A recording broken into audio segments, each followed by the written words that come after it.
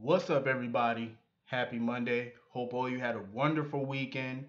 Um, before I get into this video, let me just say this: Brytni Sarpy. Brytni Sarpy did a wonderful job in her movie last night. It was on Sci-Fi called Truth or Dare. Um, for those who don't know Brytni Sarpy, you ought to know she plays Valerie Spencer on this show on General Hospital. Um, her movie last night was good. It was a great cast. Um, the movie reminded me a lot of Final Destination. Um, I had DVR'd it last night because I was watching um, WWE Hell in a Cell, so I DVR'd it. I watched it like around midnight last night. Um, it was a good movie. Like it was really a good, good movie. So, um, yeah, if you go to Sci-Fi Channel, maybe if you have on demand, check it out. It was it's called Truth or Dare. I'm just a little pissed about the ending because I don't know who survived. But the way that they left the ending, it was like they set it up for a future sequel. So I hope there is a sequel to the movie. Pretty dope movie. Usually I don't like horror movies that come out nowadays, but that was a pretty good movie pretty dope. I think she should do more horror movies because she's a natural. Um, so anyway, getting into this video, into the, today's episode, Sonny and Carly. I didn't care for them today, honestly. I really didn't. Carly, I understand their hatred of Ava. Like I said, they have every right to hate Ava. They really do. Ava has done some horrible things. Since everybody likes to bring it up, yes, she did kill Connie Falconeri honestly, I felt bad Connie died. I really did. I felt bad Connie died. But I didn't really care for that character. At all. I'm to be real. I didn't care for the Connie Falconeri character. I will say this Connie did leave her mark on the show when she created Crimson 10 years ago. Because think about it Crimson is still around 10 years later. You know what I'm saying? So that's very, you know, a good legacy to leave behind. You know, that's interesting. You know, she created this magazine with Jax 10 years later, the magazine is still around. You know, that's her legacy. But other than that, it's like, I didn't really care for the character, I'm be honest. I felt bad when she died, but I could do without Connie. Um, I know a lot of people think Ava should go to prison or whatever. I think she should. But to be honest, Ava should go down for her crimes. But, but, if Ava go down for her crimes, then she go to prison Sonny should go to prison for all his crimes, all the murders he committed. Jason should go to prison for all the crimes and murders he committed. Carly should be in prison for all the crimes she committed. And yes, Carly has committed a lot of crimes that she never went to prison for. There's plenty of people on this show who should be in jail right now. So if Ava goes to jail, everybody else should go to jail. Fair is fair. Um, if Sonny and Carly were smart, they would look for that recording that has proof that Ava murdered Connie if they were smart, because that evidence I believe is still out there somewhere. Didn't Paul Hornsby have that recording? I think Paul had it, or Scott took it, or somebody took that recording. I forgot who. But I think that recording is still out there of her confessing to killing Connie. So, and the judge did say that if that recording ever popped up, the trial will go on. She will be rearrested and retried for killing Connie. So, if I were Sonny and Carly, I would be looking for that evidence because it's floating out there somewhere. Um. So yeah, Carly, of course, is you know judging Griffin for you know being interested in Ava or whatever, being around Ava. Carly, mind your business. Who he associates with is none of your concern. I understand you hate the woman, but you have no right to talk about anybody's personal life. It's you don't even know Griffin like that. She don't even know Griffin. So it's like, why are you commenting on who he associates with? Mind your business. Um, I really, really didn't care for Sonny and Carly today. Honestly, they sitting there mourning Morgan's death. Honestly, I don't think Morgan's dead, so therefore these scenes are redundant. These scenes are for nothing because he's not dead. I don't believe it. I think the writers at some point are gonna bring him back. Um, maybe not this year, maybe not next year, but a year later, maybe they're gonna bring him back somewhere down the line. Um, definitely they're going to bring him back. Because everybody know if there's no body, he's coming back. They still haven't found Morgan's body, so obviously he's not dead. I didn't believe that they were really gonna kill him off long term. I don't think they are. Um, shit, if AJ Quartermaine could come back after all those years, trust me, Morgan's gonna be back too. Nicholas at some point is gonna be back. All those characters at some point are gonna be back. I think AJ might really be dead this time, but the rest of them, they're definitely coming back at some point in in life. Um. So anyway, Sam and Michael were talking at Kelly's. And I'm happy that Sam brought up her past when she first came to Port Charles. The fact that she was a con artist. What irritated me about Sam was that every time she's in a scene with somebody else, guess who she has to bring up and talk about? Jason. Like, woman, why don't you just handcuff yourself to Jason so that way you could be around him 24 7? She talks about Jason every second of the day. Like, does your life revolve around Jason now? It's like, seriously. She can't go five minutes without bringing up Jason. Jesus Christ. And Michael, he is so obsessed with Nelle that he forgot all about Jason.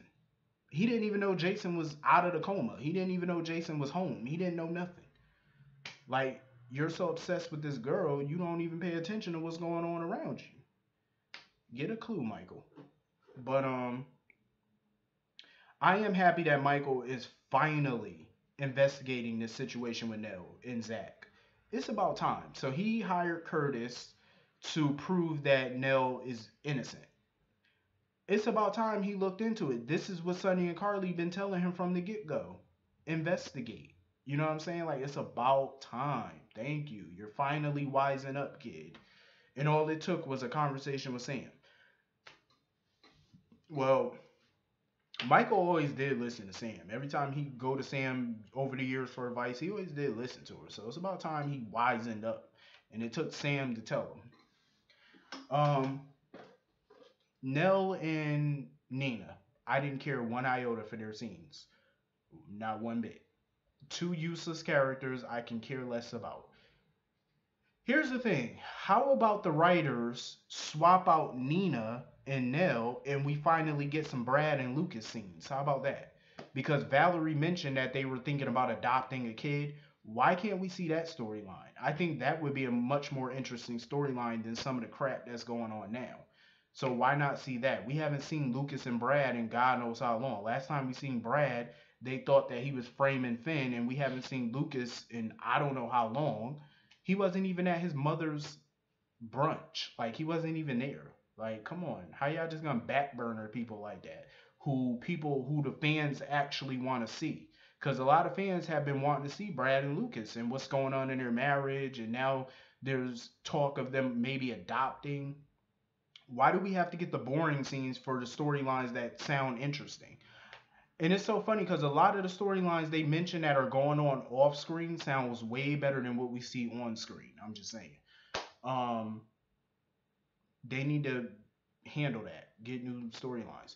So Jason was on the phone. He called the Pentonville to try to talk to Julian. Julian, I guess, called him back. Whatever this new business venture he's looking into, this new career, I guess it probably has something to do with Julian's media company, maybe you know, Julian had a lot of assets before he went to prison. So my guess is Jason or Drew is trying to tap into that. You know, that's trying to be his new career. He's keeping it a secret from Sam for whatever reason. I guess he's waiting until the contracts are signed and the deal is done for him to tell Sam. So he told her he had to go to New York. And of course, Sam is treating him like a child, telling him, no, you're not going to New York. Sam, that's a grown man. How you to tell a grown man he can't go to New York? I understand he just came out of a coma, but he's walking, he's talking, he's not dubbed over in pain, so obviously he's okay to travel. Like Sam need to get a life of her own. I'm sorry. She need her and Curtis need to partner up and become PIs together because Sam needs a life outside of Jason.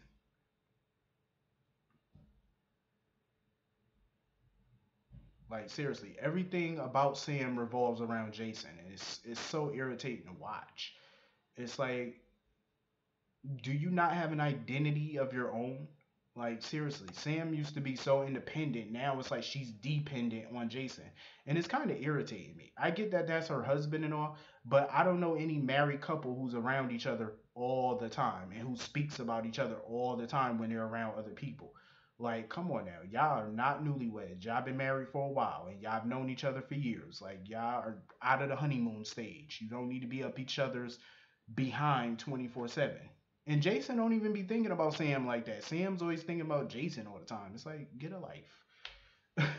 like, there's nothing wrong with being in love with your spouse and wanting to be around your spouse. That's a beautiful thing. It is. But when you're away from them, it's like she can't wait to go back home and just be all up around them 24 7. That's not natural. I'm just saying. I understand he almost died and stuff, but still, even prior to that, she was just all up on Jason, like every five seconds, uh, you know, every minute of the day. So anyway, Jason, Steve Burton, Jason, is on that boat or whatever. He's on that ship, and he can't believe that it's been five years. He thought at first Huxley, you know, fabricated the data, his phone and stuff like that to make it seem like it's been five years, but now he realizes it's been five years. So he's thinking and stuff like that. He's thinking like, how did time fly so fast?